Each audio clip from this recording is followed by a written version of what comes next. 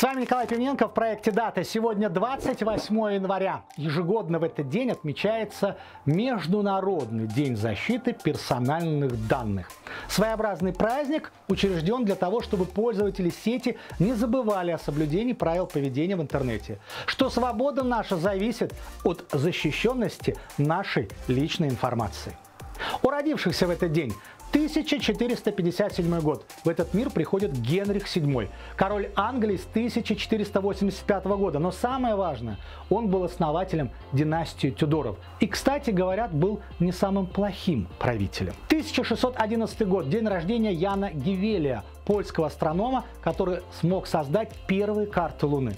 Он предложил названия для некоторых объектов на поверхности Луны, определил период собственного вращения Солнца, наблюдал солнечные пятна, двойные и переменные звезды. В общем, шагнул на несколько веков вперед. В 1693 году появилась на свет Анна Иоанновна, русская императрица с 1730 года. Став ею случайно, правила легко, непринужденно и без страха дворцовых переворотов.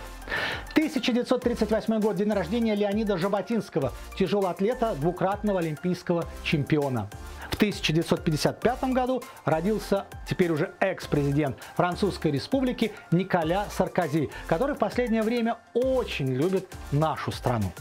В 1968 году появилась на свет киноактриса Ольга Кабо, а в 1978 Джан Луиджи Буфон, итальянский футбольный вратарь, лучший вратарь чемпионата мира 2006 года, многократный чемпион Италии.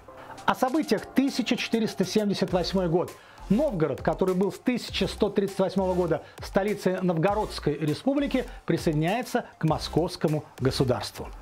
1521 год начинается так называемая диета червей, в которой протестантский реформатор Лютер, сегодня мы называем его инициатором реформации, был объявлен бандитом римско-католической церковью. 1774 год. Река Яик переименовывается в Урал. Мало какие реки в современной истории меняли свои названия.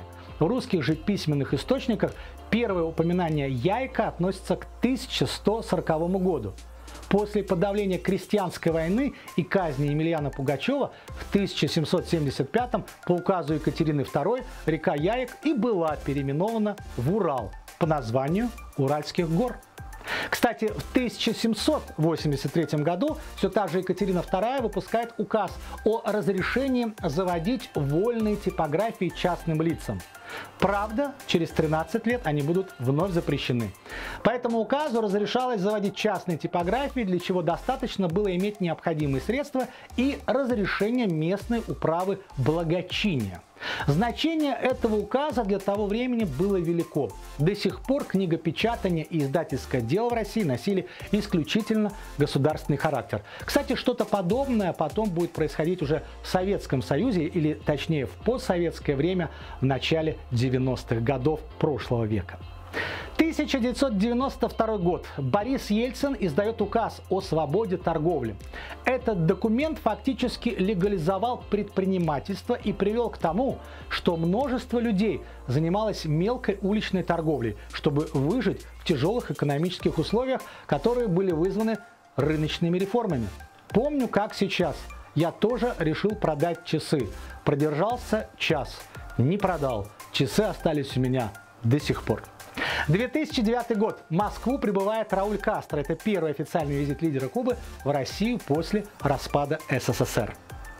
Событие, которое произошло впервые. 1807 год.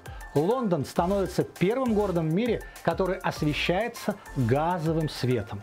Идея использовать газ для освещения улиц принадлежала будущему королю Георгу IV, а в то время еще принцу Эльскому. Первый газовый фонарь зажжен в его резиденции Картон Хаус. Спустя два года газовые фонари появляются на Пелмел, которая становится первой в мире улицей с газовым освещением. Кстати, в наше время подавляющее большинство из этих газовых фонарей переведено, естественно, на электричество. Однако около 1600 газовых фонарей сохранились, причем в важных с точки зрения туризма местах. 1956 год. Элвис Пресли впервые выступает на телевидении с первым синглом, который вышел днем ранее. Но еще одно событие. 1986 год. Спустя 73 секунды после взлета на высоте 14 тысяч 20 метров взрывается американский космический челнок «Челленджер». Семеро астронавтов погибают от удара отделившейся капсулы с людьми об воду. В этот момент когда в ужасе замерла вся Америка, информатор продолжает вести свой репортаж. Контроль полета показывает, что все идет нормально. Очевидно, имеются некоторые неполадки, мы не имеем связи. Мы получили сообщение, что ракета взорвалась. Мы пытаемся выяснить причины случившегося. Все происходит в прямом эфире. Весь мир тогда увидел, что даже самые современные устройства, выстраданные и построенные человеком, могут дать сбой, да какой. А значит, нужно помнить, мы по-прежнему очень зависим от многих факторов. И надо быть предельно аккуратным, пытаясь спорить с тем неизведанным миром, который по-прежнему окружает нас. С вами Николай Пименко в проекте «Дата».